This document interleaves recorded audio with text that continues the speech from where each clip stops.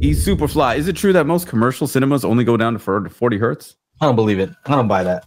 I don't buy that at all. I've seen some people say that, and I'm like, I don't know which ones you guys go to, but in Burbank, where I grew up, there all the studios are around there, right? So they have all the movies play at the AMC's there, and I used to work at AMC. Yep. that was my my first job. They have a bunch of 18s in the front, right? like if you go look under there, you're just like a bunch of 18s, maybe even uh crazier now. But like 40 hertz, it's there's it's definitely getting down to 20 hertz in those theaters. Mhm. I've done binaural recordings in some of the theaters, and I'm like, yeah, it's shaking. It's shaking. It's not. It's not 40 hertz. So I don't know. Maybe in some cities, maybe those theaters only go, go down to 40 hertz, but that sounds silly. That sounds silly to me. Yeah. I mean, would you want to go to a theater that only goes down to 40 hertz? Aren't your PA speakers not? Would you say like 30 Uh-huh. on your PA? I think so. Would you be happy to go to a theater that only went down that low, or would you expect a little more? I mean, mine are compact PAs that uh, just have a 12 inch woofer. If it has a 15, it's getting a little bit lower. You know, if it if it was a theater, I would expect them to have 18s at least, right? Especially a big Dolby one. Mm-hmm. I don't know. Maybe maybe instead of home theater tours, everybody should be doing theater tours. what system is in the theater? He said That's, individual. that's the that's the kind of tour I want to see. okay, so Rev says individual speakers in the theater only need to hit 35 hertz. But how about the subs? Is what I'm talking about. There's the that's what I speakers that are on the wall, right? Okay, Yeah, not those they're speakers. big. Not They're still guys. big. Okay, but how about the speakers that are all the like? There's nothing magical about the, their subwoofers versus our subwoofers. It's a huge auditorium, Yeah, big rectangular space. but the Not whole front is like surface area, like cone surface area of woofers. I don't know what we're talking about. Yeah, I don't know. You know, so that okay. So Rev says the LFE definitely goes below that. I- Okay. I, don't understand where people are getting this number. It just doesn't make any sense. You're telling me you have a bunch of 18s in the front and like, ah, we can barely hit.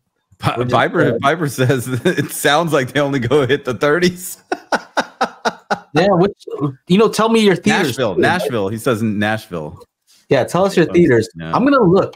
I'm gonna look and see what um AMC Burbank, Burbank, uh speaker system. Oh, you know what? That would be a cool tour, huh? That would be an awesome tour. That's what I'm saying. Just forget all these home theater tours, man. These things are just dime a dozen these days. Let's go, let's go to an actual theater and get a tour there. Better yet, Joe, we should go and measure theaters with our toolkit and see what these theaters can actually do. That's Mhm. that's that. And then and then and then you just be like, and then we have a database of all the Dolby theaters around the country and Mhm. which ones are the best ones to go see your Dune 2, to go Oh. see your Oppenheimer, to go watch your Dark Knight 15, you know, and uh, Mission Impossible 35. That's when that's those are the these are the these are the daily hi-fi approved theaters. That would be fucking dope. You know Damn, what it is? I, I see what it is, bro.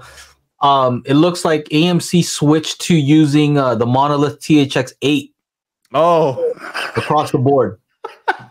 they they they threw away the 18s. And they just went, They went with, with the eights.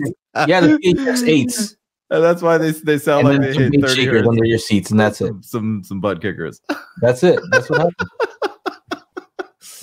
Yeah, that's it. And some of those polks, those polk ones that everybody gets on the on Amazon that are like a hundred something bucks. Oh, the polks over the like hundred ten dollars or whatever. That's what happened. Oh man, April Fools. April Fools. April Fools. Anyway, what what you are you guys guys waiting. You guys were waiting on that. Uh, let's see. Uh, Yeah, can't hit that. Uh, what do you guys say? Um, it would be nice ten hertz. Uh, what LUFS target are you usually mixing to, Chana? Um, I am not mixing to um, Dolby. Dolby's negative 18, but that's if I'm delivering to a streaming service or any kind of other deliverable, like a movie or whatever. Um, for you guys, I just make it as loud as possible. So some of them are hitting like negative 14. Is my hard drive hooked up here? I can tell you right now. I think some of them hit like negative 14. Um, I know when I played one of these for Rock, he's like, "Oh yeah, you you ain't worried about that negative 18 lufs." I was like, "No." I started laughing. It was great. Uh, oh no, these are these are for my new video. Oh, God, I don't even know if I want to make that video. Uh, let's see. Uh, on my knees, the newest on my knees. Oh, that's the older one. Bounces. Let's see. New effects. March 25th, 2024. Okay. All right. I'm seeing, I'm understanding here. Hold on a second. Okay. All right. About this, I'm still on this theater thing. Um, Cinema X curve. Negative 12, looks like on this one. Negative 12.9, something like that. Okay, so I think maybe what some people are referring to, because I see a lot of people are saying, uh, you know, it's like minus 10 dB, minus 6 dB at this. Okay, so I think here's the problem. I think these theaters need some magic beans. Yeah, probably. Because they're typically, this is the X curve. This is what's typically been used in commercial theaters. They kind of decided that this is the proper uh, curve that they should use in a theater. Look at it. Look at any of these. I'm not sure which one it's referring to, but it's all kind of the same thing where steep roll off, right, uh, of the high frequencies, but then a roll off of the bass frequencies. Why would you want to do that? I don't understand the per- you have so I think what we're talking about is the capability of these subs. They're capable of doing 20. Whether they use a target curve that utilizes that 20 hertz, maybe not. Right? Maybe they decided, ah, this X curve that we decided on is the best because we decided on it like 30 years ago or something. Mm-hmm. Yeah. Maybe that's what you're experiencing. Maybe. So, but definitely, I think that they're they're capable. I mean, they're 18s. They should be able to mm-hmm. move move some air. Erod, I've read that new Pro Tools software makes it much easier for sound mixers to beat. Make right. beat, make maybe mm-hmm. beat beat 916 content. I don't know mm-hmm. that. How long until they that consistently reaches Blu-ray and streaming? What do they? I, I saw that too. What do they do differently though? Like, what what can they do in Pro Tools that you can't already do? No, I, I think this is what, what he's talking about is the um, integration of the Dolby Atmos renderer into Pro Tools. Just how Logic has an integrated one. I think that's what he. Oh, I see. Because I, I know people were saying in, on AVS like, oh, now that they're they allow nine one six, it's you know in Pro Tools, we should be getting better mixes. But I'm like, it didn't stop us from making nine one six on.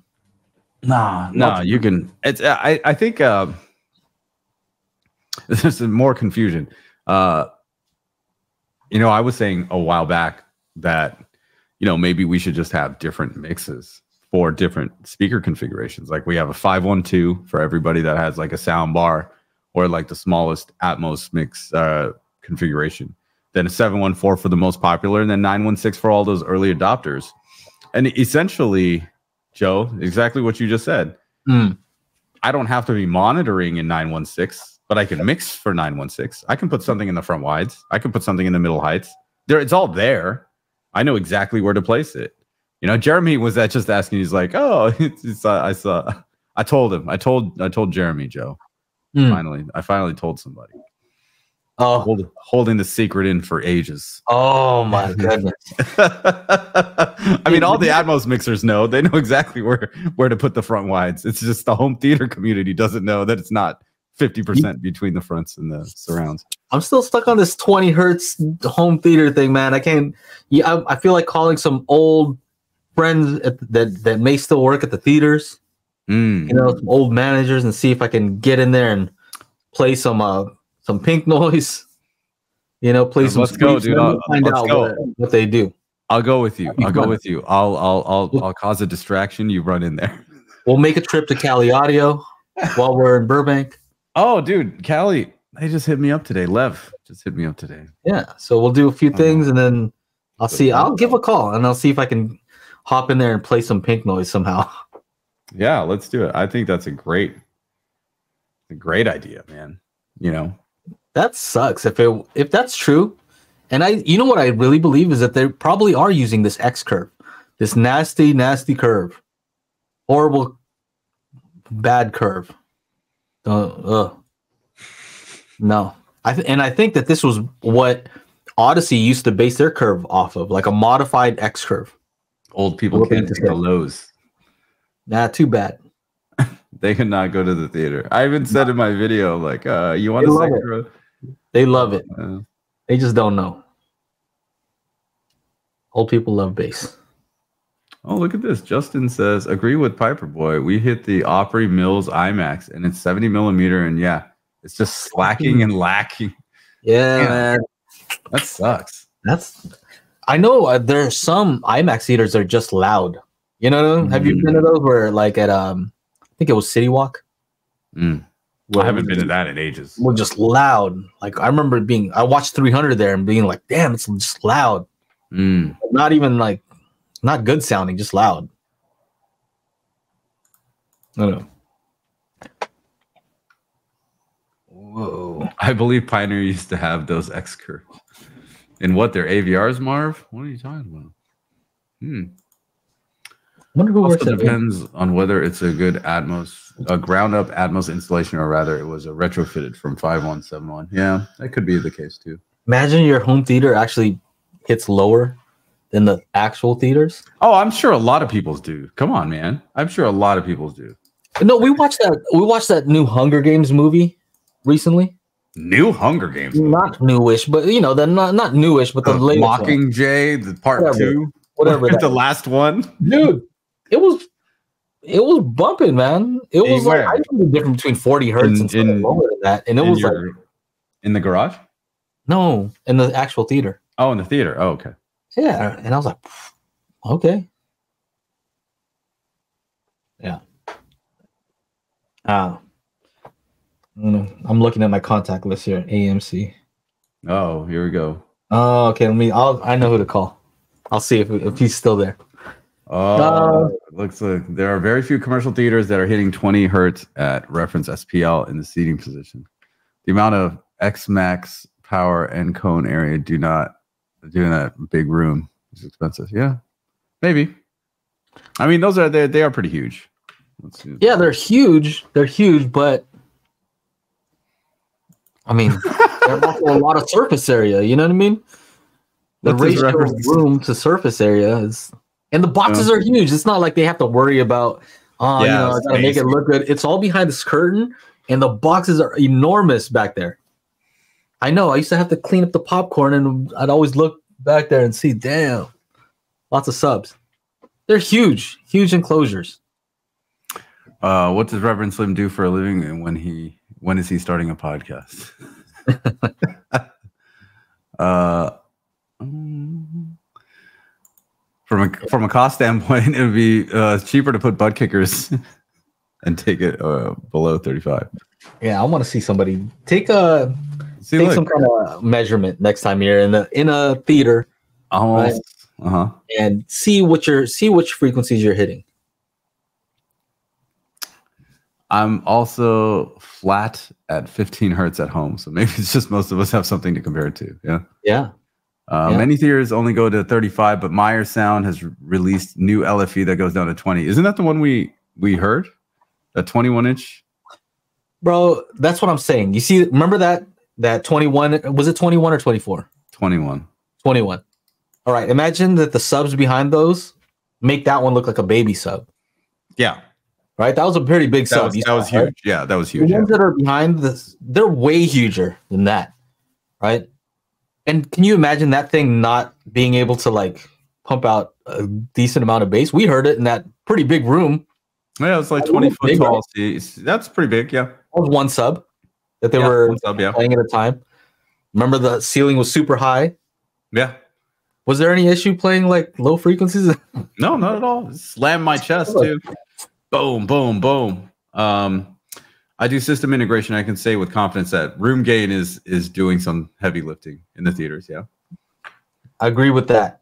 Uh, Meyer and Bass Boss are the only commercial subs aside from rotary woofers that are hitting that 20 hertz mark.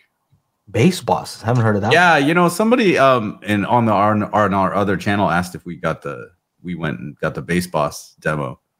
I, I Mhm. saw some. I saw. I went and looked at them. yeah, I guess they're kind of in the same like ballpark as far as like sound quality up there with Meyers. Yeah. Yeah. So I guess that is true. Maybe if you sit in the corner of that room, in the in the. Every, so, so everybody in the theater wants to sit in the middle to see the, like the picture, but all the bass heads are sitting in the corners. in the corner, like oh, it was oh, it was you. You were the guy. Oh, okay. Get all that room gain, awesome. huh? That's a secret. If you want it, just if you just love bass, go sit in the corner. Go sit in the corner of the theater. uh, so you know the bass heads are at. So it was it was uh it was Revive Creative that asked about uh, if we saw the bass boss demo at NAMM. Okay. Make sure to join us every Monday for our live stream at 4 p.m. Pacific, 7 p.m. Eastern at youtube.com forward slash daily hi.